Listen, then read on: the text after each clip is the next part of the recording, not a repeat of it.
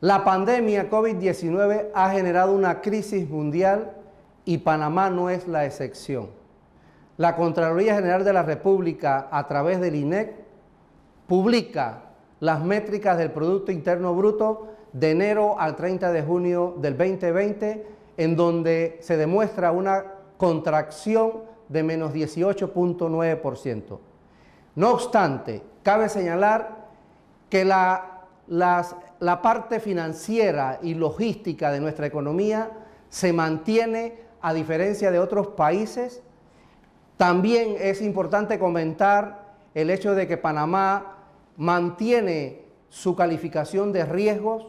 Estos aspectos harán que Panamá salga mayormente más rápido que otros países eh, eh, latinoamericanos.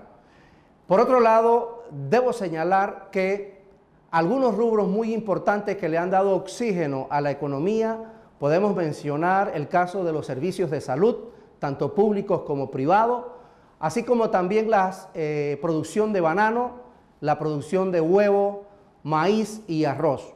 En el lado exportador es importante señalar el sector de concentrado de cobre que viabilizan enormemente las métricas eh, sectoriales, como también el hecho de la, carga contenerizada y a granel que apuntan en positivo eh, según las métricas revisadas por nuestra institución.